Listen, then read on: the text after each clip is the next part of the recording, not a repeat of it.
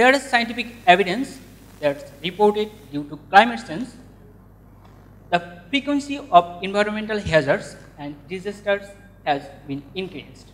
And as a result, societies are transforming and peoples are facing new challenges. And that's why pattern, numbers and dynamics of human mobility are changed that results in migration.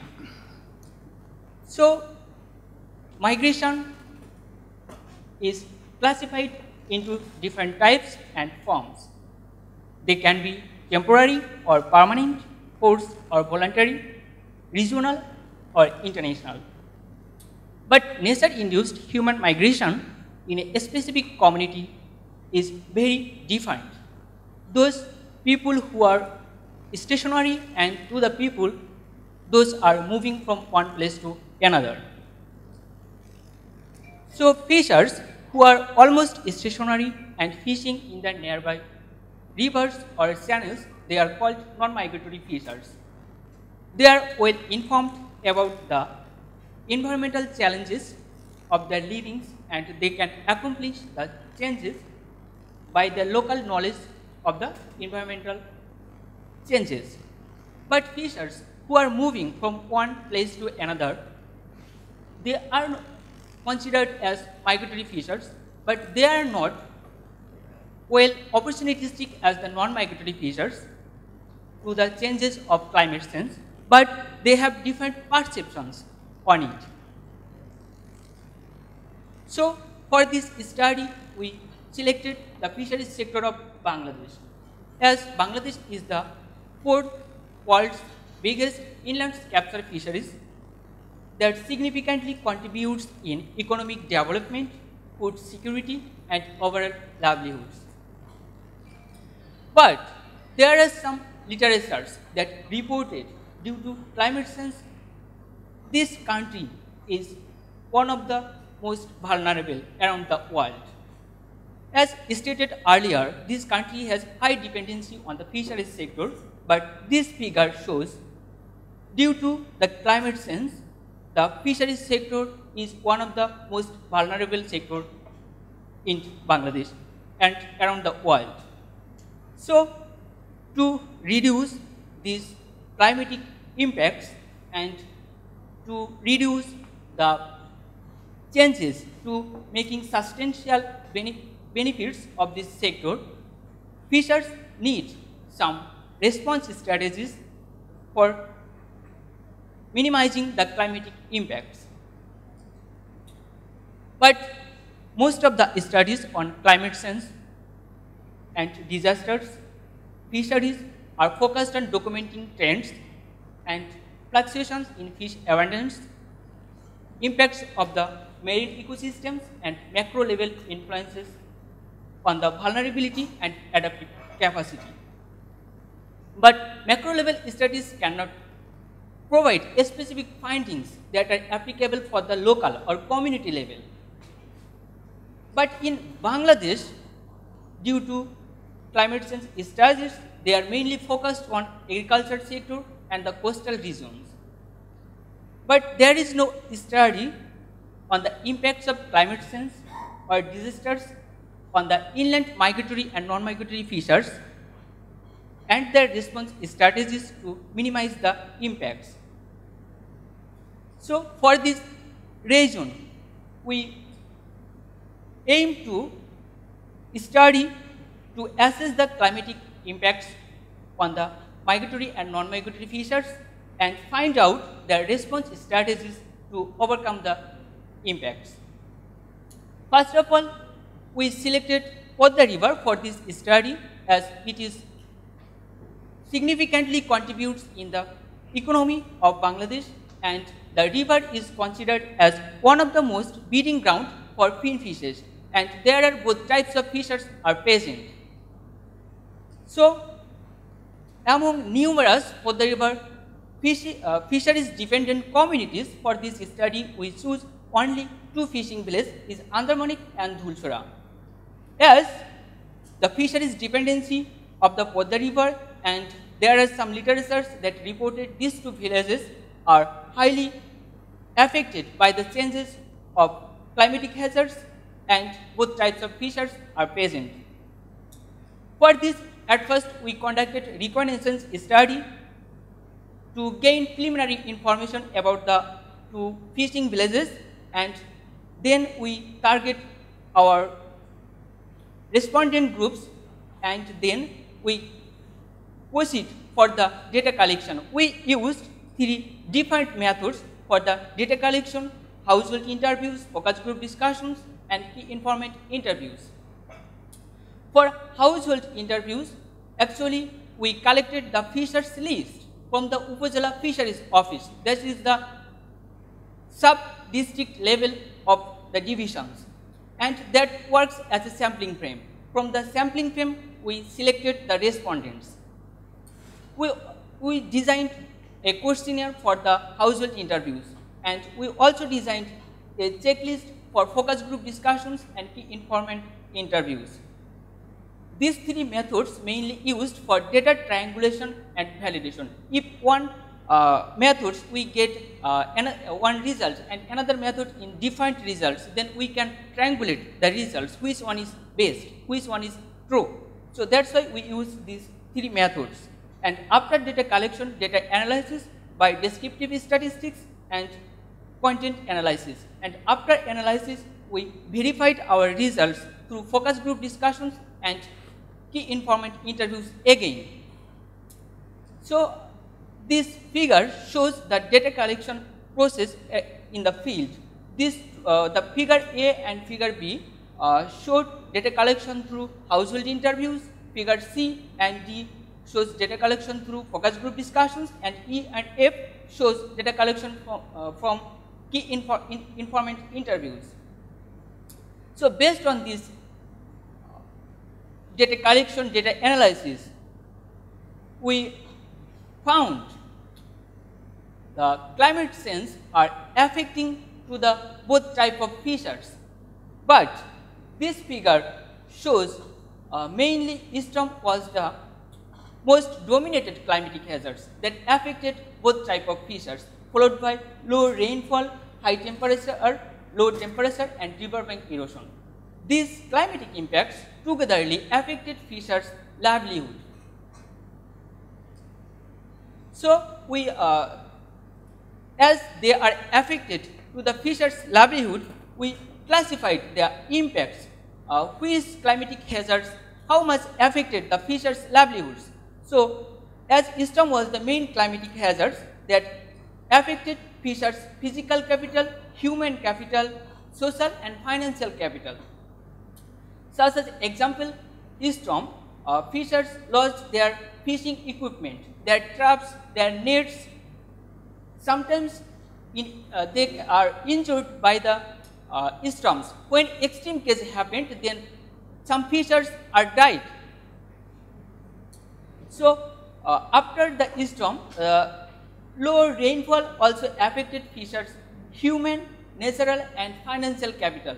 When uh, rainfall reduced, the water body become uh, reduced. So that's why they didn't get uh, enough uh, water resources to fish. So that's why that's affected their natural capital.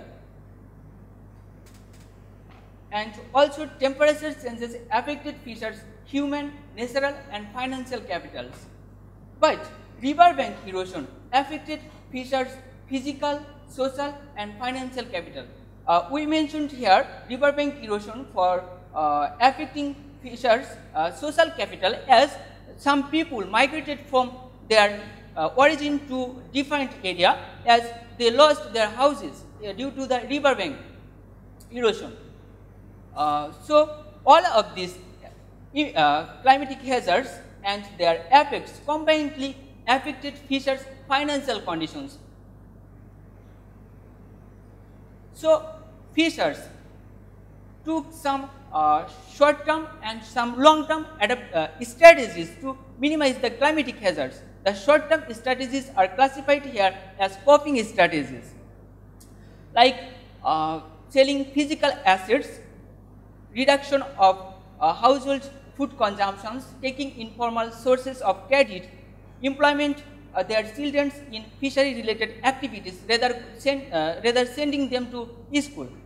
Uh, so, the fishers combinedly uh, used only uh, their, sell, sell, their productive households assets for the minimization of reducing fish catch, loss of land property and reduction of the uh, destructions of the infrastructures and temporary unemployment.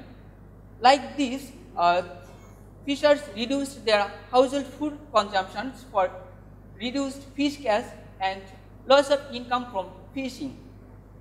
And these are the similar type of uh, coping strategies for the uh, minimizing uh, fishers uh, climatic impacts. So, the cross relationship between the coping strategies and the climatic impacts are like this. So, uh, as I told earlier, fishers take some long term strategies to minimize the impacts and these are known as adaptation strategies and uh, they are changed in fishing gear. So, uh, in previous time they used cast net, uh, uh, cast net, uh, net, but at present time they use seine net and gill net. Uh, fishers changed their fishing, uh, sorry, changed their fishing duration because uh, in previous time they uh, usually fished uh, 7 or 8 hours, but at this moment they used to fish uh, 12 hours, 14 hours. So, they changed their fishing duration and also they diversified their livelihoods through different non-fishery related activities like uh, working in another uh, crop field, uh, selling some uh, goods, driving vehicles, something and uh, to minimize the uh, mainly the river bank erosion, they constructed embankment to reduce the climatic impacts. So, fishers take some adaptation strategies for one uh, climatic impacts uh, like uh, reduced fish catch. Fishers adaptation strategies are four, in fishing gear, in fishing duration, in fishing ground and livelihood diversifications. And other adaptation strategies for uh, loss of land property uh, uh, are embankment constructions and tree plantations. And some other climate adaptation strategies for the impacts are like this so, finally, the close relationship between climatic impacts and adaptation strategies are like this. So, as I told,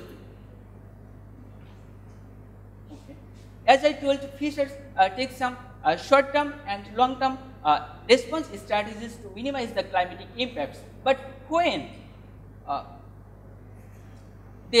uh, when we compared these two groups of fishers, we found uh, lesser number of uh, migratory fishers.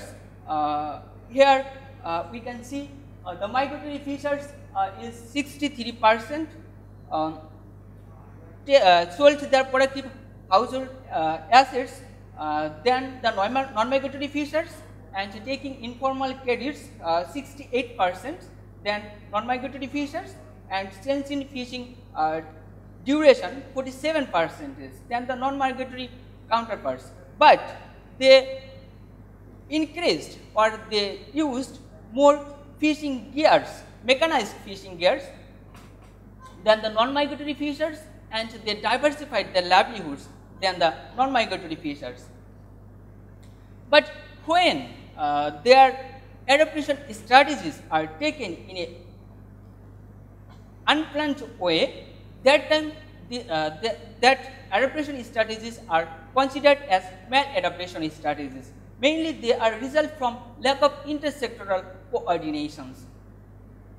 From this study, we found uh, around 61 percent non-fishery uh, reported embankment construction that was taken to minimize the uh, river uh, erosion, but they considered that embankment construction as a maladaptive strategy as it disconnect the Podma river to the nearby beels and uh, associated floodplains. That's why they re reduced or they lost their water resources to fish.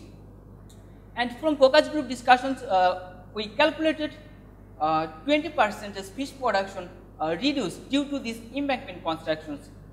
there is another study, uh, Hall et al. He reported due to the flood dam constructions, around 50 percent fish production can be reduced. And as I told earlier, the fishers uh, involved their children in fishing uh, fishery related activities rather sending them to the school. Uh, 50 percentage both type of fishers are doing this type activities. They engaged their children in fishery related activities. So, based on these uh, results, we concluded uh, climatic hazards and disasters has uh, impacts on the livelihood activities, strategies and outcomes of both migratory and non-migratory fishers. Uh, they are quite similarly affected by the storm, changes of rainfall and temperature. But river bank erosion only affected non-migratory fishers as uh, the migratory fishers are opportunistic, they move from one place to another, that is why they are not affected by the riverbank erosion. But uh, Unlike these climatic impacts, uh, lesser number of migratory fishers, I already told, uh, sold their uh, physical assets, took informal sources of credit and intensified fishing, whereas uh, more of them used, sorry, uh, modernized fishing boats and diversified their livelihoods. Why they are less affected by the changes of climate. So, both type of fishers are responding to these climate change impacts, uh, but these are not sufficient enough to fully address their impacts. So, uh, our uh, limitation is there are numerous the river fishery dependent communities, uh, but we only focused to uh, fishing villages. So, if we uh, conduct more studies, more fishing communities, then uh, this result can be uh, defined from those and uh, there may be something new findings we can get from this study. So, that is all of my presentation. Thank you, everyone.